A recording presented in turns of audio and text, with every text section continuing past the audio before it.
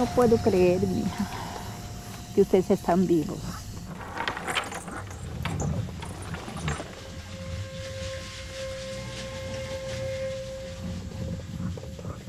Tu abuelita ya te ha contado sobre los fantasmas de acá de la isla.